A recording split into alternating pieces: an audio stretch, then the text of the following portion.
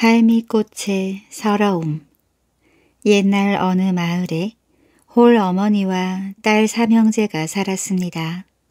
이 집은 살림도 넉넉하고 식구들이 화목하여 남부럽지 않게 잘 살았어요. 집 안에는 딸들이 부르는 노랫소리와 어머니의 웃음소리가 떠날 날이 없었습니다. 마을 사람들은 이 집을 행복한 집이라고 하며 부러워하였어요. 아버지가 없는 집안 살림을 어머니가 도맡아서 꾸려 나갔습니다. 딸들도 외로운 어머니를 도우며 위로해 주었지요. 어머니는 딸들이 참으로 자랑스러웠습니다. 남들처럼 아들을 낳지는 못했지만 딸들이 하도 자기를 위해 주므로 콧등이 시큰하도록 대견하기만 했어요. 봄이 가고 가을이 가고 철이 바뀌면서 몇 해가 흘렀습니다.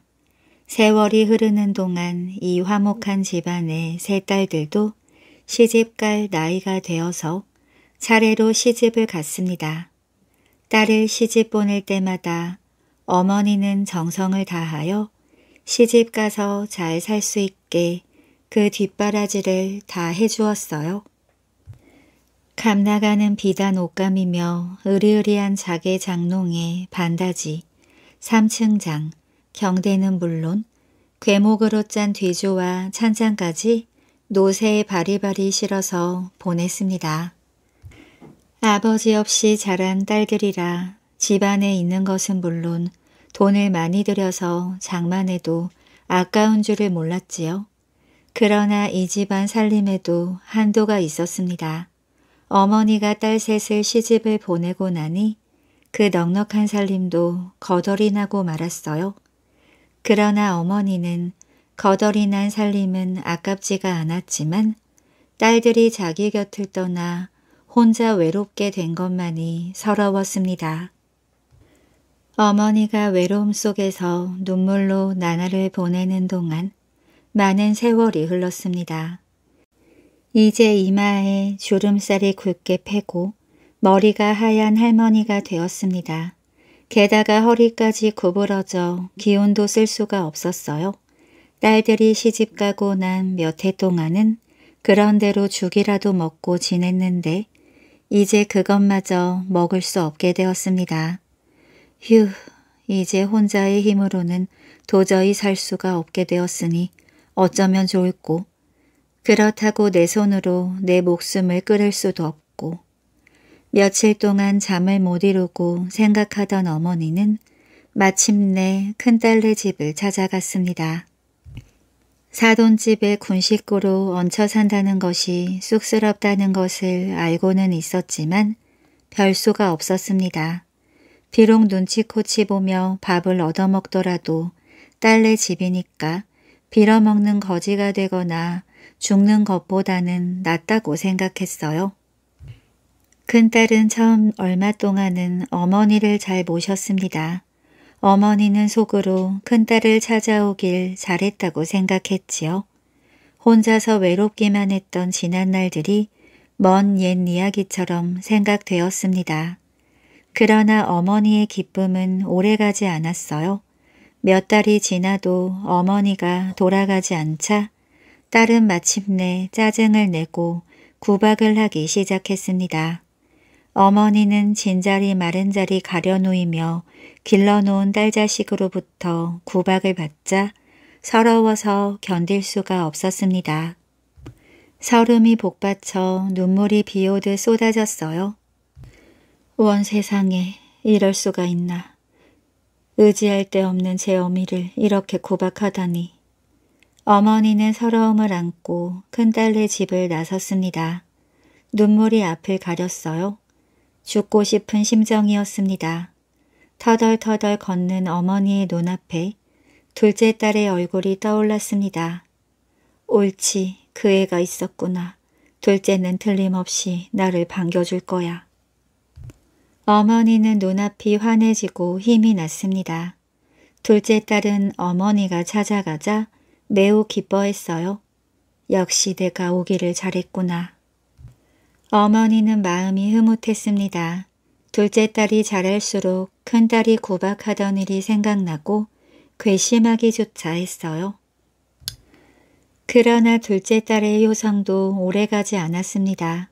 둘째 딸 역시 자기 어머니가 아주 살라온 것이라고 믿자 짜증을 내고 구박을 하기 시작했어요. 이리하여 어머니는 또 눈보라치는 겨울날 밖으로 쫓겨났습니다. 큰딸네 집에서 쫓겨날 때보다 더욱 서러워 눈물이 쏟아졌지요. 이 눈보라 속에 늙은 어미를 내쫓다니 옛말에 딸이 열이라도 잠빛 하나만 못하다더니 그 말이 꼭 맞구나. 어머니는 혼잣말을 중얼거리면서 눈보라 속을 걸었습니다. 마지막으로 막내딸을 찾아가는 도리밖에 없었지요. 우리 막내딸만은 이 어미를 천대하지 않을 거야. 그렇고 말고 내가 왜 진작 그 생각을 못했을까. 막내딸은 마음이 어질고 고왔습니다. 딸 셋 중에서 제일 똑똑하고 착했어요. 딸들을 다 시집 보내고 외롭게 지내실 어머니를 생각하고 저희 집으로 모셔가려고 한 적도 한두 번이 아니었습니다. 어머니는 막내딸을 생각하자 다시 기운이 났습니다. 귀여운 막내딸을 어서 보고 싶었어요. 숨이 턱에 차올랐지만 눈보라 속을 뚫고 고개 위로 졸다름차 올랐습니다. 막내딸의 집을 가려면 큰 고개를 넘어야 했습니다. 고갯마루에 올라서자 눈보라가 먹고 저쪽 산 아래에 오순도순 눈에 덮인 초가집들이 보였어요.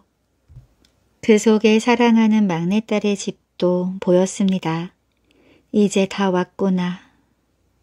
어머니는 힘껏 소리 질렀습니다. 그러나 지칠 대로 지친 어머니의 소리는 모기 소리만 했어요. 아가야, 어미가 왔다. 막내딸을 만난다는 기쁨으로 정신없이 고갯마루까지 올라온 어머니는 이제는 기운이 쑥 빠져서 더는 걸음을 뗄 수 없었습니다. 쓰러질 듯 쓰러질 듯 하면서 소리도 제대로 나오지 않는 입을 달싹이며 막내딸을 부르던 어머니는 마침내 그 자리에 쓰러지고 말았습니다. 그 무렵 막내딸은 어떤 사람으로부터 어머니가 둘째 언니네 집에서 쫓겨나 자기 집으로 떠났다는 기별을 들었습니다. 이 추운 날씨에 얼마나 고생을 하실까? 막내딸은 가슴이 철렁 내려앉았습니다. 내가 이러고 있을 때가 아니지. 어서 마중을 나가야지. 아침에 떠나셨다면 벌써 도착했어야 하는데 혹시 도중에 무슨 사고라도 난 게 아닐까? 불길한 생각을 떠올린 막내딸은 미친 듯이 대문을 나서 단숨에 고갯마루까지 달려갔습니다. 그런데 세상에 오직 한 분밖에 안 계시는 어머니가 쓰러져 있었습니다. 막내딸은 와락 달려들어 어머니를 끌어안았지요. 뜨거운 눈물이 쏟아졌습니다.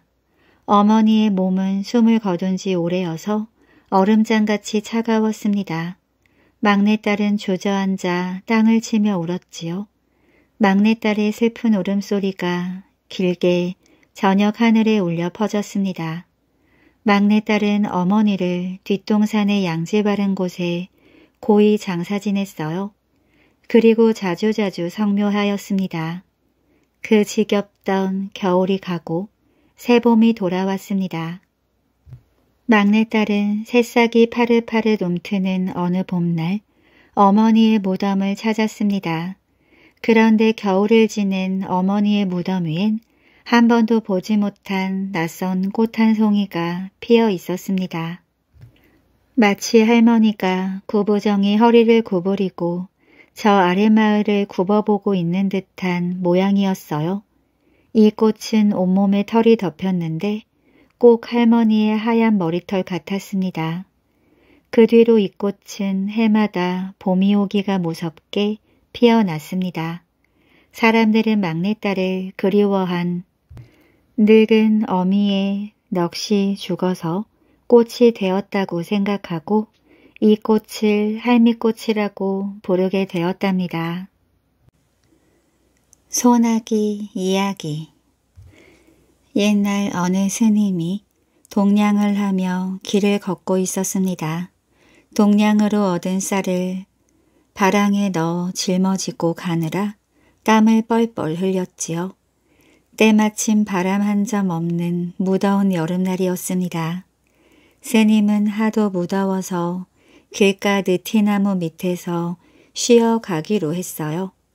그런데 그때 소를 부려 논을 갈던 농부 하나가 느티나무 그늘에서 쉬고 있었습니다. 스님, 날씨가 무덥지요. 내가 논을 갈지만 비가 안 와서 큰일입니다. 뭐를 내야 할 텐데 이거 큰일 났군요. 그러자 스님은 자기가 입고 있는 옷을 도로 만져보았습니다. 여보시오, 걱정하지 마시오. 오늘 중에 비가 내립니다. 에이, 스님도 농담을 잘하시는군요. 이렇게 날이 맑은데 무슨 비가 옵니까? 아니요, 두고 보시오. 틀림없이 비가 올 것입니다. 그럴 리가 있겠습니까? 비가 온데도요. 농부는 그래도 스님의 말을 믿으려 하지 않았습니다. 비가 온다고요?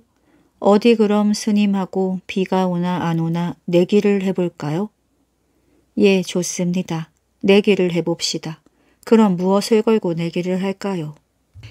스님이 지시면 그 바랑에 든 쌀을 주십시오. 그러지요. 소승이 이기면 저 논에 있는 소를 주시겠소. 농부는 생각해 보았습니다. 농사 짓는 데는 없어선 안 될 귀중한 소였어요. 그러나 농부의 생각에는 이런 맑은 날에 무슨 비가 오랴 싶었습니다. 예, 좋습니다. 스님이 지시면 꼭 그 쌀을 주셔야 합니다. 여부가 있겠습니까? 이윽고 농부는 논으로 가서 다시 논을 갈고 스님은 느티나무 아래서 쉬고 있었습니다. 농부는 논을 갈면서도 오늘 쌀을 얻을 수 있는 횡재가 생겼다며 속으로 좋아했습니다. 그러나 이게 웬일인가요? 뜻밖에도 하늘에서 천둥 소리가 나고 시커먼 비구름이 뭉게뭉게 모여드는 것이었어요. 참으로 이상한 날씨였습니다. 그러더니 스님의 말대로 정말 굵은 비가 쏟아지기 시작했어요. 농부는 비를 피하려고 소를 몰고 스님이 있는 그 느티나무 밑으로 갔습니다. 내 말이 맞았지요. 내기에 내가 이겼으니 그 소를 내게 주시오. 할 수 없지요. 제가 졌으니 소를 드려야지요. 한데 스님께선 어찌 그렇게도 용하게 청기를 보실 수 있습니까? 그건 간단한 일입니다. 내가 입고 있는 옷을 만져보면 이내할 수 있지요. 옷을요? 그렇지요.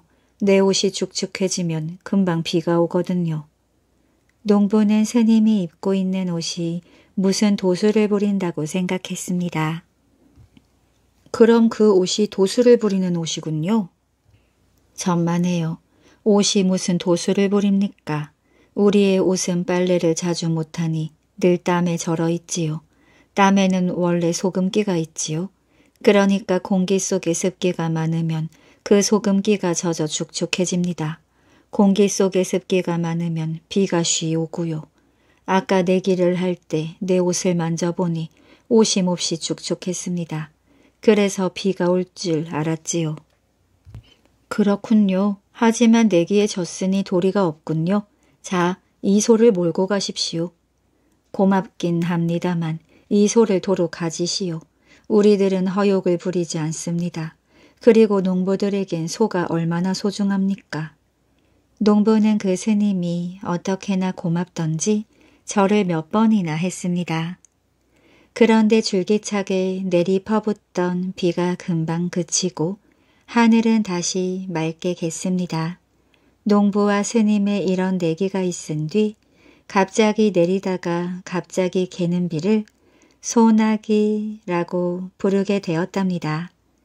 소를 두고 내기를 했다고 해서 소내기라고 불리다가 소나기로 바뀐 것입니다. 노루꼬리 이야기 옛날 소금 장수가 소금을 말에다 싣고 산골로 팔러 갔습니다. 그런데 어느 산골에서 호랑이를 만났어요. 소금 장수는 겁이 나서 간이 콩알만해졌습니다. 그러나 호랑이는 소금 장수를 잡아먹기는커녕 말을 처음 보았는지 자꾸 말을 쳐다보았습니다. 여보시오 사람 저기 저 짐승 배 아래 달린 것이 무엇이오? 소금 장수는 호랑이가 가리키는 것을 바라보니 그것은 말의 고추였습니다. 소금 장수는 어리석은 호랑이를 놀려주어야겠다고 생각했어요. 그거, 그건 호랑이를 쏘는 대포라는 거야. 그러자 이번에는 호랑이가 말의 불화를 가리키며 물었습니다. 소금 장수, 그러면 그 옆에 대롱대롱 매달린 저건 무어요? 아, 그거? 그건 호랑이를 잡아 집어넣는 주머니지. 이렇게 능청맞게 대답하자 호랑이는 다시 말의 목에 달아둔 방울을 가리키며 물었습니다. 여보시오 소금장수 그럼 저 목에 달린 건 뭐요? 아 저거 그건 말이야 호랑이를 잡아먹는 딸랑쇠야. 호랑이는 이 소리를 듣자 금방 온몸에 소름이 쫙 끼쳐왔습니다.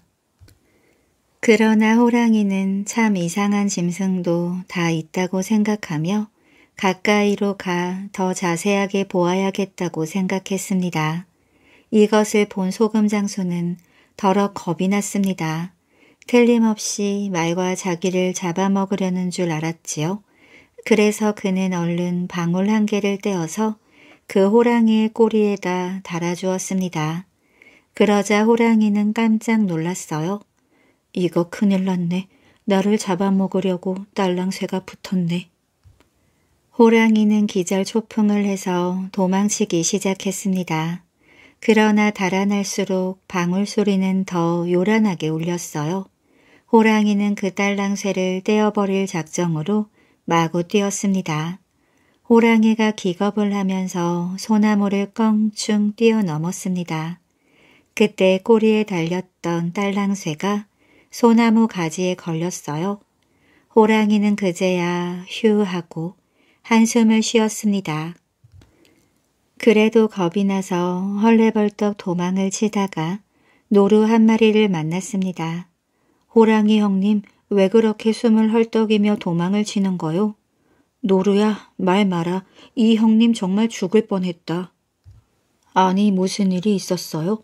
무슨 일이라니 하마터면 딸랑쇠라는 놈한테 잡아먹힐 뻔했다.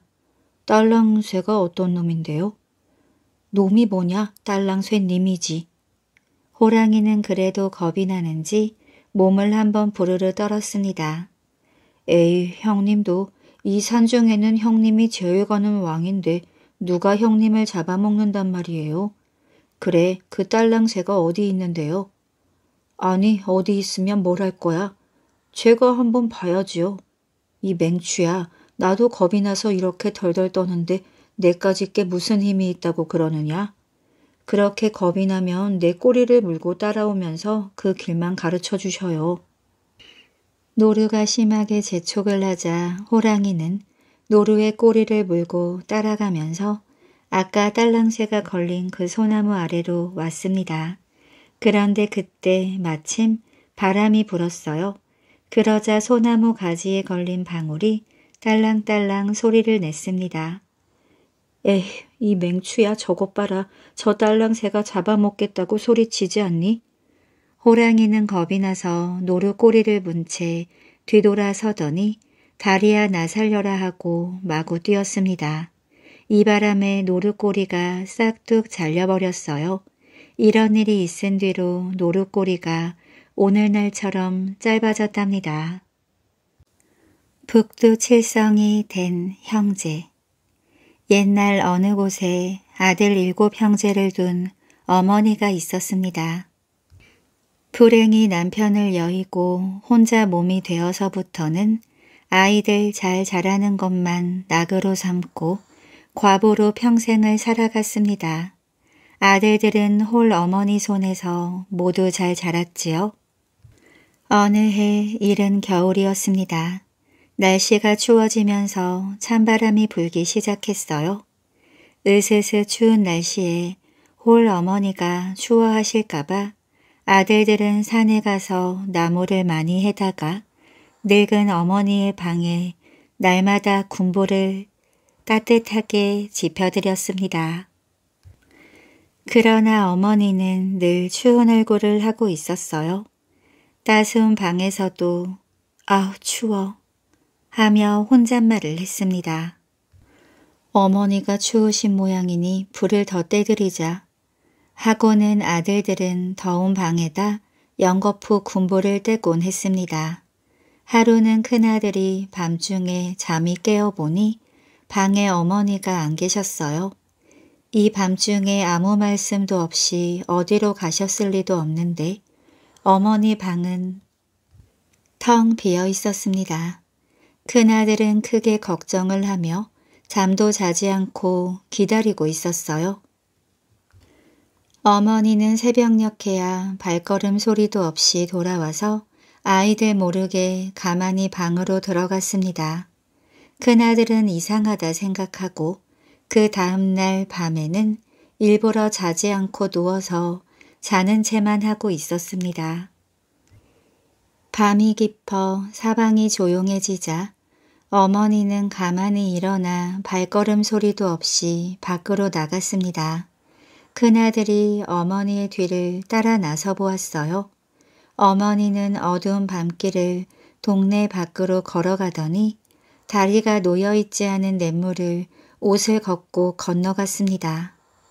소스라치게 놀라는 어머니의 목소리가 들렸어요. 아 차가워.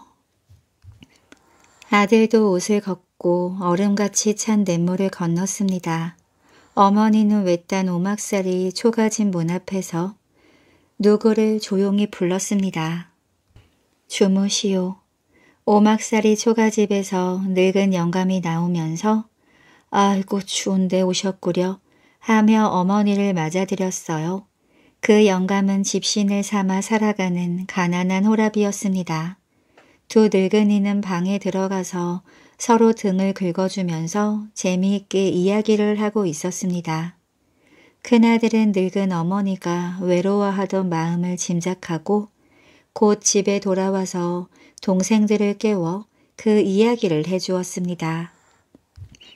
그리고는 밤중에 모두 같이 나가서 그 냇물에 돌을 날라다가 징검다리를 놓고는 시치미를 뚝 떼고 잤지요.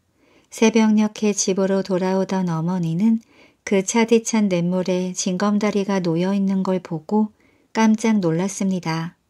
아까까지도 없던 징검다리가 갑자기 놓여 있었기 때문이에요. 어머니는 그 징검다리가 일곱 아들이 와서 놓은 것인 줄은 꿈에도 알지 못했습니다. 찬물에 발을 벗고 건너지 않아도 된 것이 고마워서 어머니는 하늘을 우러러보며 중얼거렸습니다.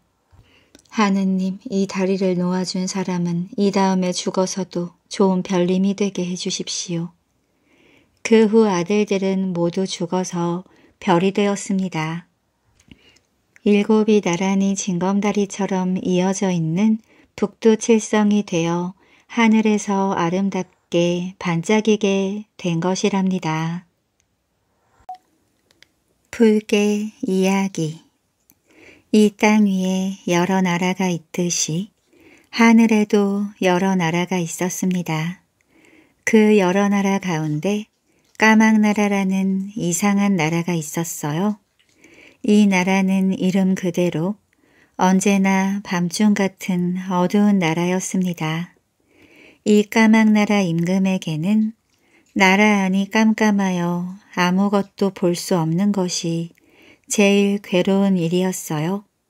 다른 나라는 환하여 오색 찬란하게 모든 것이 다 잘 보이는데 까막나라에서는 모두가 새까맣고 밝은 빛이라고는 조금도 볼 수 없는 것이 답답하고 한스러웠지요.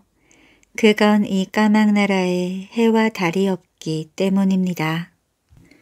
해와 달만 있으면 이 깜깜한 나라도 찬란한 밝은 나라가 될 수 있다는 것을 임금은 알고 있었습니다. 어떻게 해를 훔쳐올 수는 없을까? 임금은 늘 그런 궁리만 하고 있었어요. 까막 나라에는 사나운 개가 많았습니다. 그 개들은 이름을 불개라고 했어요. 불을 훔치는데 쓰게 되었기 때문입니다. 임금은 불개 가운데서도 제일 사납게 생긴 개에게 명령했습니다. 나라가 이렇게 어두워서야 살 수 있느냐. 내가 가서 해를 좀 훔쳐오너라. 해를 훔쳐오기만 하면 너에게 큰 상을 주겠노라. 불개는 임금의 명령을 받고 해를 훔치러 해나라로 길을 떠났습니다. 머나먼 길을 날아가듯 달려간 불개는 눈부시게 환히 빛나는 해 곁에까지 다가갔습니다. 해는 무섭게 타는 불덩이였어요. 불개는 그 불덩이 옆에 가서 와락 달려들어 해를 물었습니다. 용케 물기는 했으나 그 해가 어찌나 뜨거운지 물고 있을 수가 없었습니다. 그래서 참다 못해 그만 뱉어놓고 말았지요. 아, 참 뜨겁기도 하다. 이걸 어떻게 가져가야 하나? 불개는 아무리 생각해 보아도 별 수가 없었습니다. 그렇지만 그냥 돌아가기는 싫었어요. 어떻게든지 이 해를 가져가야겠다 하고 불개는 다시 해를 집어 물었습니다. 그러나 이번에도 견딜 수가 없었습니다. 입이 지글지글 타는 것 같았지요. 불개는 입에 물었던 해를 또 뱉어놓고 말았습니다. 몇 번을 되풀이하여 물었다가는 뱉고 물었다가는 뱉고 하다가 하는 수 없이 그냥 뒤돌아서고야 말았습니다. 해를 훔쳐오지 못한 불개를 보고 임금은 버럭 화를 냈습니다. 그래 뜨겁다고 그냥 뱉어버리다니 그렇게 자물성이 없단 말이냐.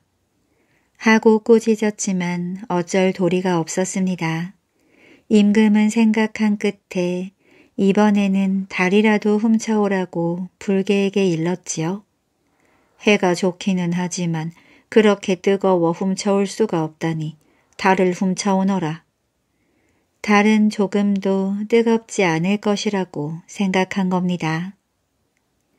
사실 달은 해만큼 밝지는 못하지만 그래도 없는 것보다는 나을 거라고 생각이 들었어요. 불개가 이번에는 달을 찾아갔습니다. 달은 얼음덩이 같이 빛나고 있었습니다. 이것은 뜨겁지가 않으니 단박에 훔쳐갈 수 있으리라 생각하고 와락 달려들어 덥석 달을 물었습니다. 그러나 불개는 그 달도 잠시라도 물고 있지 못하고 이내 뱉어버렸어요. 어떻게나 차가운지 이빨이 시려서 견딜 수가 없었지요. 불개는 이번에도 빈 입으로 임금에게 돌아왔습니다. 못난 놈 같으니 어찌 그것조차 물어오지 못한다는 것이냐. 임금은 불개를 나무라면서 얼굴을 찡그렸습니다. 까막 나라는 언제나 캄캄한 나라로 지내야 했습니다. 임금은 환하게 밝은 다른 나라를 생각하면 할수록 부러워 견딜 수가 없었지요. 눈을 감고 그 밝은 나라를 생각해 보면서 자기만 이런 깜깜한 까막 나라에 사는 것을 원통해 했습니다. 해만 있으면 달이라도 하나 있으면. 임금은 이렇게 중얼거리다가는 다른 불개를 불러 또 해를 훔치러 가라고 명령합니다. 불개가 갔다가 빈 입으로 돌아오면 달이라도 훔쳐오라며 또 쫓아 보내지요. 그러나 달도 못 가져오는 걸 보고는 발을 고르며 분해합니다. 몇 번이나 몇 번이나 불개들을 보내보았어요. 아무리 보내보아도 안 되는 걸 알면서도 임금은 단념하지를 못했습니다. 불개들은 임금이 명령을 할 때마다 사나운 이빨을 번뜩이며 해와 달을 찾아 살같이 달려가서 물었다가는 뱉어놓고 물었다가 뱉어놓고를 반복했습니다. 세월이 흘러가도 흘러가는 걸 알 수 없는 까막 나라였습니다. 해가 없고 달이 없는 나라에서는 세월이 가는 것도 알 수가 없었어요. 까막 나라 백성들은 눈을 뜨고 있어도 감고 있는 거와 다름이 없었습니다. 온 세상이 깜깜하여 아무것도 보이지 않기 때문입니다. 그런 캄캄한 속에서 아 하는 한숨 소리가 들려옵니다. 답답하여 내쉬는 한숨 소리지요. 이래선 안 되겠다. 해를 훔쳐오너라. 달을 훔쳐오너라. 불개들은 못 가져올 것을 뻔히 알면서도 어둠이 지겨워서 해나라로 달나라로 먼 길을 떠났다가는 되돌아오고 되돌아오고를 반복했습니다. 이렇게 불개들이 해나 달을 입에 물기 때문에 요새도 가끔 해가 이지러져서 대낮이 어두워졌다가 도로 밝아지곤 한답니다. 밤에 달이 이지러졌다가 되살아나는 것도 불개가 입에 물었다가 뱉어놓기 때문이랍니다. 토끼에게 속은 자라. 옛날 동쪽 바닷속에는 귀여운 외동딸을 가진 용왕이 살고 있었습니다. 용왕은 바닷속의 임금님이지요. 바다에 사는 온갖 물고기, 물짐승들은 모두 이 용왕을 받들고 살아가는 것입니다. 용왕이 있는 대궐은 크고 아름다웠어요. 옥돌로 주추를 놓고 호박으로 기둥을 세웠습니다. 수정으로 된 벽, 산으로 만든 주렴, 오색 조개로 덮은 지붕의 기와 모두가 찬란하고 화려했습니다. 이런 대궐에서 사는 용왕은 참으로 행복했습니다. 그러나 이 행복한 용왕에게도 큰 불행이 닥쳐왔습니다. 그것은 용왕이 우연히 병이 나서 알아눕게 된 것입니다. 병은 날로 중에 갔습니다.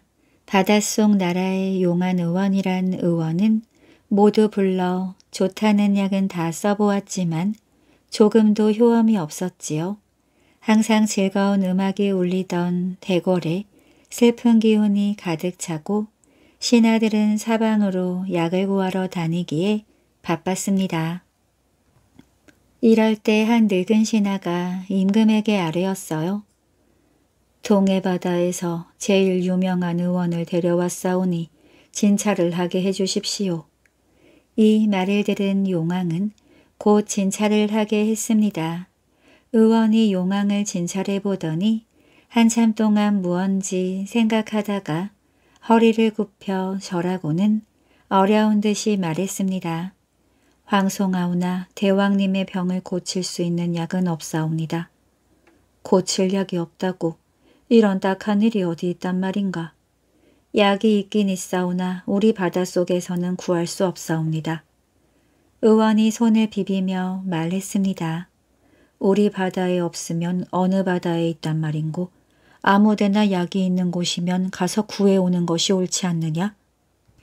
예, 지당한 말씀이옵니다. 그러나 대왕님의 병을 다스릴 약은 저 육지에 사는 토끼의 간밖에 없사옵니다. 토끼간을 잡수시면 곧 나을 수 있겠습니다마는 그러면 육지에 나가서 토끼를 잡아오도록 하라. 용왕은 사방을 돌아보며 신하들에게 분부했어요. 물고기 신하들은 일제히 예 하고 대답했습니다.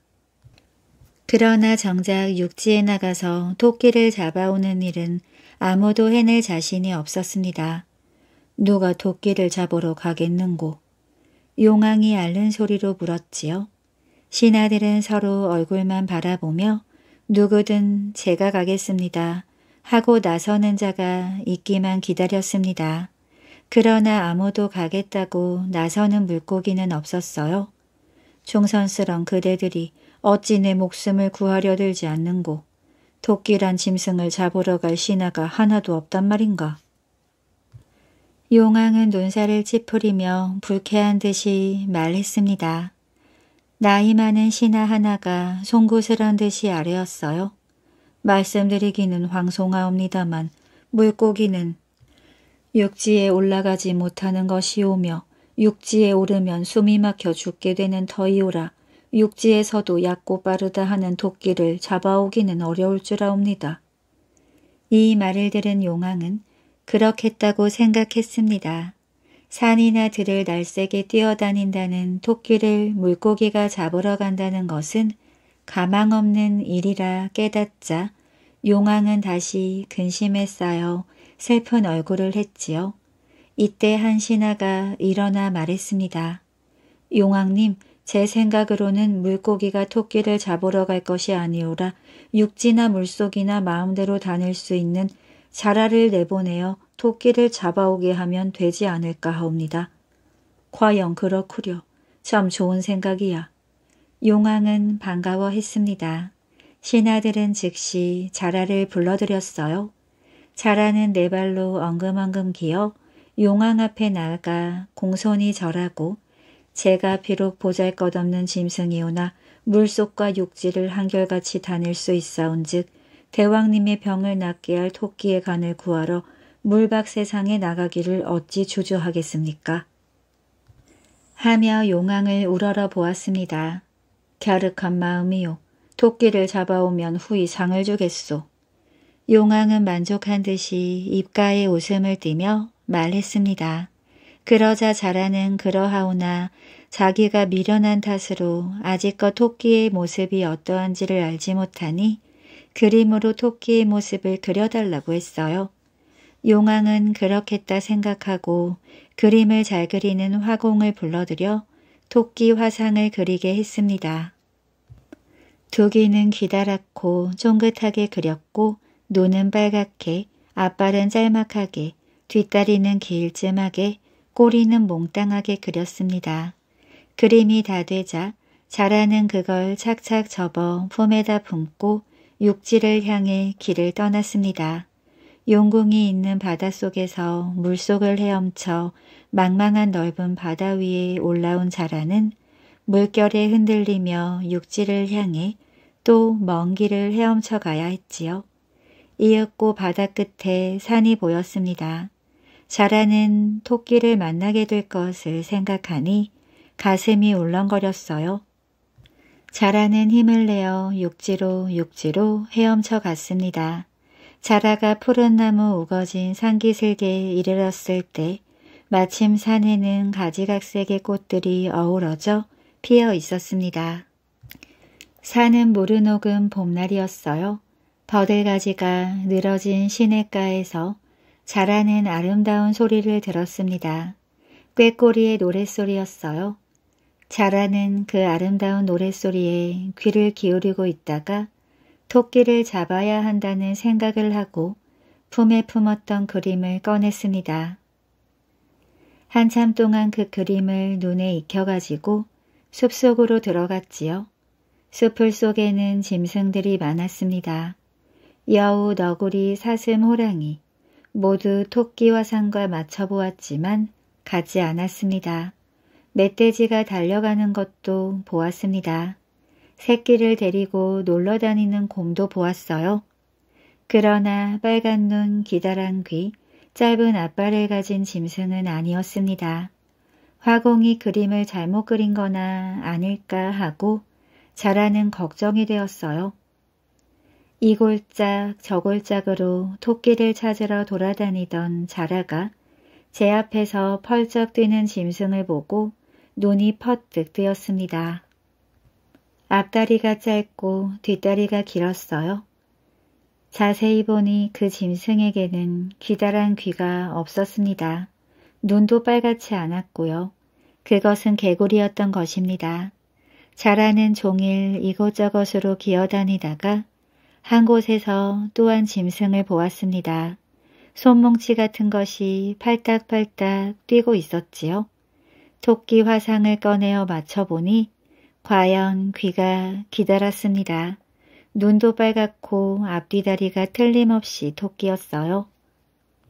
자라는 반가운 마음에 엉금엉금 기어 토끼 앞으로 다가가서 목을 기다랗게 빼어 인사를 했습니다. 처음 뵙소. 우리 서로 알고 지냅시다. 나는 물속에 사는 자라요.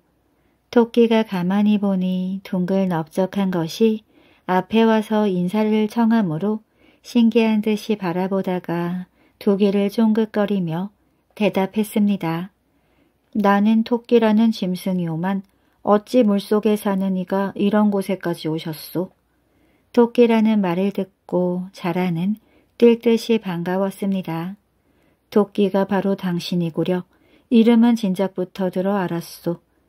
나는 깊은 물속에 살기는 하지만 육지도 마음대로 다닐 수 있기에 이런 곳에도 친구가 많지요. 그래서 여러 친구를 만나보고 지금 물속 나라로 가려던 참인데 말로만 듣던 토끼님을 못 보고 가는 게 섭섭하던 참에 이렇게 만나니 다행이구려. 토끼는 반가워하는 자라의 이야기를 듣고 있다가 가던 길을 가려는데 자라가 이야기를 건넸습니다. 토끼님은 산에서 사는 재미가 어떠시오? 토끼는 한바탕 자랑이나 해주리라 생각하고 있는 일 없는 일 마구 주워 섬겼습니다. 늘 재미있게 지내지요. 자고 싶으면 잔디 따스한 바위미 그 어디에서 늘어져 자고 편한 팔자에 아무 부러운 것 없이 지내지요. 자라가 허허하고 웃으며 말했습니다. 토끼님은 듣기보다 허풍이 많으시구려. 내 친구 짐승들의 말을 들으니 토끼님은 힘센 짐승들 때문에 어느 하루 마음 놓고 다니기도 어려워 먹을 것도 제대로 먹지 못하고 산다고 들었소. 자라의 이야기를 듣고 있노라니 토끼는 세그머니 화가 났습니다. 그렇지만 그 말이 거짓말이 아니라 퇴박을 줄 수도 없어 잠자코 있다가 자라에게 물었지요. 그럼 자라님은 살 재미가 있단 말씀인가요? 그거야 이 산속 살림의 비교나 되겠소. 물속에는 용왕님이 계시어 모든 일을 잘 다스리니 대평천하가 바로 그곳이요. 그런데 토끼님이 물속 나라에 가서 살지 않고 이런 곳에서 고생하는 걸 보니 참 딱하기도 하오. 자라가 능청스럽게 말을 하니 토끼는 부러운 마음이 들었습니다. 물속 나라가 그렇게 좋다면 가보고도 싶지만 나는 물에 들어가면 숨이 막혀 죽게 되니 하는 수 없는 일이요. 토끼가 시무룩해지는 걸 보고 자라는 토끼님 이야기를 듣고 보니 그냥 지나칠 수가 없구려. 바로 말하자면 내가 데리고 가기만 하면 물속에 들어가도 숨이 막히거나 하는 일이 조금도 없으니 물속 나라로 갑시다. 정말 그럴 수 있을까요? 걱정 마시오. 우선 내 등에 올라앉아 바닷물 속에 들어가 보기만 하시오. 토끼는 더 생각할 겨를도 없이 자라님이 나를 그렇게 위해 주시겠다니 사양하지 않고 따라가기로 하겠소. 자라는 속으로 이제 내게 속는구나 생각하며 토끼를 데리고 바닷가로 나갔습니다. 한 곳을 지나려니까 바위 틈에서 너구리 한 마리가 뛰어나오며 토끼를 불렀어요. 도서방 어디 가는 길인가? 잘 만났습니다. 너구리 아저씨. 하마터면 하직 인사도 못 드리고 떠날 뻔했군요. 떠나다니? 어디로 떠난단 말인가? 지금 물속나라로 살러 가는 길입니다. 여기보다 훨씬 좋은 세상에서 살아보려고 자라님을 따라 용궁으로 간답니다. 허, 젊은 것이 벌써 망령이 났나. 전하의 어리석은 친구야. 육지에 살던 짐승이 물속에 가서 무얼 하며 산단 말인가? 저 세상 버리고 딴 세상에 갔다가 살아오는 놈은 보지도 못했네. 토끼가 너구리의 말을 들으니 지금까지 생각한 일이 갑자기 의심스러워졌습니다. 그러자 자라가 말했어요.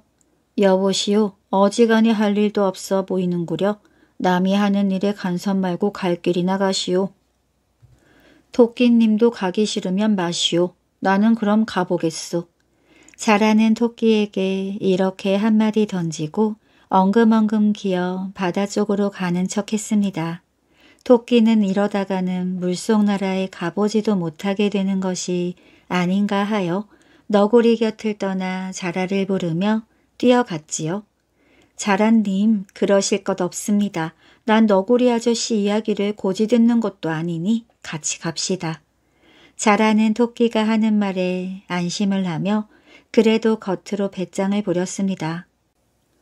육지에 사는 짐승을 이 먼 곳에까지 오게 한 것은 다름이 아니라 나의 병에 네 간을 먹어야겠기로 불러온 것이다. 목숨을 잃는다고 서러워하지 마라. 네가 죽은 후에는 고이 묻어 제사를 지내줄 것이요. 나를 위해 공이 큰 것을 잊지 않고 너에게 벼슬까지 주려 하노라. 뜻밖의 말에 토끼는 기절을 할 것 같았습니다. 자라가 한 말은 모두 거짓말이었던 거예요. 토끼는 두려움에 떨면서 정신을 잃지 않고 어떻게 해서든지 저를 속인 놈들을 되려 속여서라도 살아날 길을 찾아야겠다고 마음먹었습니다. 토끼는 보석같이 붉은 눈을 반짝이며 용왕에게 말했어요. 저의 배를 갈라서 간을 내시려는 것이라면 배를 가르기 전에 저의 말씀을 들어주셔야 할 일이 있사옵니다. 무슨 말인고 저는 자라의 말을 고지 듣고 예까지 오긴 왔사오나 참으로 원통한 일이 있사옵니다. 그야 원통하긴 하겠지만 나는 이 나라의 왕이라 한 마리 짐승의 목숨을 끊어서라도 병을 고쳐야 하겠으니 고이 죽을 각오를 하는 것이 옳으리라. 아니옵니다. 그 말씀이 아니오라. 위중한 임금님의 병을 고치지 못하게 된 것이 원통하다는 말씀이옵니다. 그런 걱정은 네가 할 것이 아니다. 천하의 이름난 의원이 네 간만 먹으면 낫는다고 했으니 염려 말거라. 임금님 간을 잡수신다고 미리 들었더라면 간을 가지고 올 것을 산골짜기 바위 틈에 두고 왔기에 하는 말씀입니다. 지금 저의 배를 가르시더라도 이 뱃속에는 간이 없기에 하는 말씀입니다. 간을 내놓고 왔다고. 전하에 둘도 없을 거짓말쟁이 같은 놈. 어찌 산짐승이 간을 내놓고 다닌단 말이냐. 용왕이 화를 내는 바람에 신하들도 일제히 토끼를 꼬지졌습니다. 토끼는 태연이 대꾸했지요. 배를 가르면 나는 죽습니다. 죽고 난 뒤에 후회를 하지 말고 제 말을 들어보십시오. 나는 한 달에 반은 간을 가지고 다니고 반은 꺼내어 맑은 물에 깨끗이 씻어 바위 틈에 넣어두고 다닙니다. 저의 간은 예로부터 어려운 병에 좋은 약이라고 해서 달라는 이가 많아 일부러 가지고 다니지 않는 것이지만 용왕님께서 병이 위중하시다면 그까지 토끼의 간쯤 못 드릴 것도 없사온데 저 자다라는 짐승이 미리 그런 말을 하지 않고 거짓말을 했기 때문에 간을 가져오지 않았으니 이런 딱한 일이 어디 있습니까? 간도 없는 저를 죽여 배를 가르는 건 좋사오나 그렇게 되면 간을 구하기 어려우실 테니 간이 필요하시다면 지금이라도 육지에 나가 가져오는 것이 가장 옳지 않은가 하옵니다. 토끼가 어떻게나 능청맞게 말을 했던지 용왕은 그만 그 말을 고지 듣게 되었습니다. 토끼야, 네가 하는 말이 그럴 법도 하다. 빼놓고 다녀도 죽지 않는 것이라면 육지에 나가서 그 간을 가져오도록 하여라. 네 소원대로 후히 대접하겠노라. 자라 등에 태워 밖으로 같이 나가기만 하면 씻어놓은 간을 가지고 돌아오겠습니다. 용왕은 토끼의 묶인 몸을 풀어주고 맛 좋은 음식을 먹인 다음 자라를 시켜 다시금 육지로 나가도록 해주었어요. 게다가 육지에 나가서 친구들에게 선물로 주라고 좋은 선물까지 잔뜩 싸주었습니다. 토끼는 자라 등을 타고 앉아 푸른 바다에 둥둥 떠올라 육지를 향해 가면서 속으로 생각했습니다. 영락없이 죽을 고비를 용케 넘기고 다시 고향에 돌아가게 된 것은 용왕을 속였기 때문이지만 저를 속여 목숨을 빼앗으려 한 자라나 용왕이라면 속여서 나쁠 게 없을 뿐 아니라 복수까지도 해주어 마땅하다고 생각했지요. 그러나 마음 착한 토끼는 죽을 걸 살아난 것이 기뻐서 자라를 죽인다거나 할 생각은 하지 않았습니다. 이윽고 예전에 살던 산이 있는 바닷가에 이르렀을 때였어요. 토끼는 자라 등에서 팔딱 뛰어 언덕 위로 올라가며 자라에게 소리쳤습니다. 이 천하의 몹쓸 놈아 생긴 꼴은 괴상해도 마음만은 바로 쓰는 줄 알았다가 내가 고생만 했다. 너 같은 놈은 등을 깨트려 죽여주고 싶지만 나를 데리고 먼 길을 왔다 갔다 한 정성이 갸륵해서 살려보내는 것이니 어서 썩 사라져라. 자라가 뜻밖의 말에 아니 토끼님 그게 무슨 말이오. 씻어놓았다는 간을 가지고 어서 도로 가야 하지 않소? 하고 몸을 부르르 떨었습니다. 세상에 무슨 짐승이 간을 꺼냈다 집어넣었다 한다더냐? 네가 나를 속였으니 나도 내 놈들을 속여주었을 뿐이다. 하고 토끼는 깡충깡충 산으로 뛰어가 버렸답니다. 용궁의 공주 어느 바다 가까운 강 어귀에 젊은 어부 한 사람이 살았습니다. 고기잡이를 하여서 늙은 어머니를 봉양하며 지냈어요. 하루는 낚싯바늘에 고기가 물렸는데 낚싯대가 휘청하게 무거웠습니다. 이렇게 무거운 고기가 물린 적이 없는 터라 어부는 너무도 좋아서 조심조심 낚싯대를 채어 당겼지요. 과연 물속에서 끌려 나온 것은 일찍이 보지 못한 아주 큰 잉어였습니다. 야, 이렇게 큰 놈이 잡히려고 온종일 한 마리도 안 걸렸구나. 참 크기도 하다. 하며 그 커다란 잉어를 신기한 듯이 들여다보았습니다. 금빛 비늘이 찬란히 번쩍이는 잉어였어요. 그런데 입을 오물오물 하는 것이 꼭 어부에게 무슨 말이라도 하는 것 같았습니다. 나를 살려보내주시오. 나를 살려보내주시오. 어부는 그 잉어가 엄청나게 큰 때문인지 마치 이런 말을 하는 것 같은 생각이 들었습니다. 그렇다. 이렇게 큰 잉어라면 잡아 죽이는 건 못할 일이지. 어부는 중얼거리며 그 큰 잉어를 아까운 줄도 모르고 물에 도로 넣어 주었습니다. 잉어는 조활한 듯이 꼬리를 저으며 깊은 강물 속으로 들어가 버렸습니다. 이튿날 어부는 또 낚싯대를 메고 그 강가에 나가서 고기를 낚았습니다. 낚시를 물에 담그고 앉아있는데 어디서 나타났는지 파란 옷을 입은 소년 하나가 어부 앞에서 머리를 숙여 절을 하는 겁니다. 대체 총각은 누구요? 하고 어부가 물었어요. 소녀는 아주 공손하게 대답했습니다. 저는 용왕님의 심부름을 온 사람입니다. 용왕님께서 당신을 모시고 오라 하셔서 아니 그건 무슨 까닭이요? 어부는 어리둥절해서 물었습니다. 어제 당신이 우리 용왕님의 따님을 살려보내주셨으니 고마워 그냥 있을 수가 없다고 용왕님께서 살해를 하시려는 것이니 저와 같이 용궁으로 가십시다.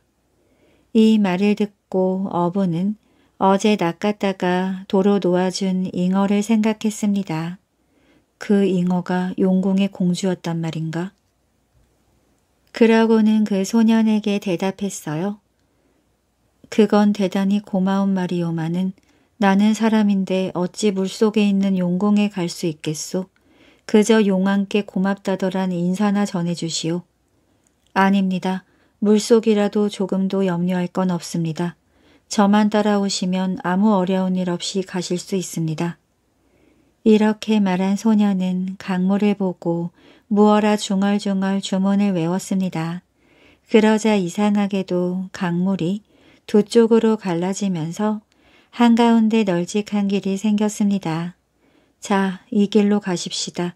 그러면 곧 용궁에 닿을 수 있습니다. 소년이 어부의 소매를 잡아 끌었습니다. 어부는 더 생각할 겨를도 없이 소년을 따라 그 강속길을 들어섰습니다. 강속의 길은 바닷속으로 이어져 있었어요. 얼마를 가니 과연 오색으로 빛나는 아름다운 궁전이 보였습니다. 궁전에 들어서는 어부를 보자 용왕은 신도 신지 않은 채 버선발로 뛰어내려 와서 반가이 어부를 맞아들였습니다. 잘 오셨소. 당신은 우리 딸의 목숨을 구해준 은인이요. 하며 어부를 비단방석 자리에 앉히고 몇 번이나 치아를 했습니다. 그러고는 곧 성대한 잔치를 치러 사흘날 사흘밤을 두고 어부를 접대했지요. 어부는 평생 처음으로 만난 음식과 좋은 옷에 음악과 춤을 즐기며 유쾌하게 사흘을 보냈습니다. 사흘이 지나자 용왕은 어부에게 이런 말을 했습니다. 당신은 마음씨가 곱고 착한 분이라 내 딸을 살려보냈소. 딸의 은인이니 내 딸을 아내로 삼아주시오. 어부는 용왕이 하라는 대로 공주와 결혼을 했습니다. 용왕의 사위가 된 어부는 용궁에서 재미있게 지내느라고 집에 돌아갈 생각도 잊고 있었어요. 어느덧 석 달이 지난 어느 날 집에 혼자 계실 어머니 생각이 나서 고향에 다녀오겠다는 이야기를 했습니다. 공주는 어부의 어머니에게 보내는 선물들을 잔뜩 싸주면서 갔다가 부디 빨리 돌아오세요. 오실 때는 이 상자를 들고 물기라 열려라 하고 주문을 외우시면 오실 길이 나타날 테니 그 길로 해서 오십시오. 하고 조그만 상자 하나를 주었습니다. 이 상자는 절대로 열어보시면 안 됩니다. 만일 뚜껑을 여시면 못 쓰게 되는 것이니 조심하세요. 하고 공주는 몇 번이나 당부를 냈어요. 염려 마오 시키는 대로 할 테니 어부는 어머니에게 갖다 드릴 보물들을 짊어지고 용궁을 나왔습니다. 용궁을 나와서 어부는 그 조그만 상자를 들고 물기라 열려라 하고 외웠어요. 그러니까 아닌 게 아니라 육지로 나가는 길이 훤히 트였습니다. 어부는 그 길로 집에까지 무사히 돌아가서 혼자 기다리고 있는 어머니를 만나 그동안 지낸 이야기를 했습니다. 용궁에서 받아온 보물들로 어머니는 좋은 옷에 걱정 없이 잘 살게 되었습니다. 그런데 어부는 그 이상한 상자 속에 무엇이 들었는지 그것이 궁금해 견딜 수가 없었어요. 용궁공주가 그걸 열어보지 말라고 한 것도 무슨 까닭인지 알 수가 없었습니다. 무엇이 들었기에 열어보지 말라고 했을까 하고 생각하니 더욱더 궁금증이 나서 몰래 슬쩍 열어보고만 싶었습니다. 상자는 예쁘게 생긴 조그만 것이었어요. 그 안에 무엇이 들어있기에 이 상자를 보고 물기라 열려라 하면 바다에 커다란 길이 생길까 상자 안에 그런 재주를 부리는 것이 들어있기에 그렇게 될 것이다. 그게 무엇일까? 이런 생각을 하고 있던 어부는 상자 속을 들여다보고 싶어 상자를 만지작거리다가 에라 좀 보자 하고 뚜껑을 살짝 열었습니다. 상자 안에는 의외로 아무것도 없었어요. 어부는 다만 뚜껑을 열 때 하얀 연기 같은 것이 스르르 나와 하늘로 올라가는 것을 보았을 뿐입니다. 이상하다. 어부는 여우에게 홀린 사람처럼 멍하니 앉아 있었어요. 용궁에 두고 온 아내 생각이 났습니다. 어서 빨리 돌아오라고 하던 그 말소리가 들리는구나. 어부는 어머니에게 하직 인사를 하고 강가로 나와 그 작은 상자를 들고 물기라 열려라 하고 주문을 외웠습니다. 그러나 물은 그냥 그대로 흘러만 가고 용궁으로 가는 넓은 길은 나타나지 않았어요. 물기라 열려라 어부는 또 주문을 외워보았습니다. 그래도 물은 변함없이 흐르기만 했어요. 아, 상자를 열어보았기 때문에 이 상자가 소용없는 물건이 되었구나. 하고 어부는 가슴이 덜컥 내려앉았습니다. 어부의 눈앞에는 용궁의 그 화려한 광경과 예쁜 공주의 얼굴이 보이는 것 같고 가거든 부디 빨리 돌아오세요. 하며 헤어지기를 싫어하던 예쁜 아내의 목소리가 귀에 들리는 것만 같았습니다. 그러나 이제는 그 용궁의 아내를 만나러 갈 수도 없습니다. 열어보지 말라고 몇 번이나 이르던 용궁공주의 말을 듣지 않고 공연히 상자를 열어본 일이 가슴이 터질 듯이 후회가 되었습니다. 아, 내가 못난 짓을 했구나. 내가 왜 아내 말을 듣지 않고 이걸 열어봤을까? 발을 구르며 어부는 탄식을 했습니다. 영영 못 만나게 된 공주를 생각할수록 그냥 미칠 것만 같았어요. 어부는 이제는 소용이 없이 된 상자를 들고 강가를 하염없이 돌아다니면서 자꾸자꾸 물기라 열려라 물기라 열려라 하며 주문만 외우고 다녔답니다. 오늘도 이야기 재미있게 잘 들으셨나요? 옛날 이야기에는 우리 옛 조상들의 생활 풍속과 삶의 기쁨, 슬픔 뿐만 아니라 애환이 담겨 있습니다.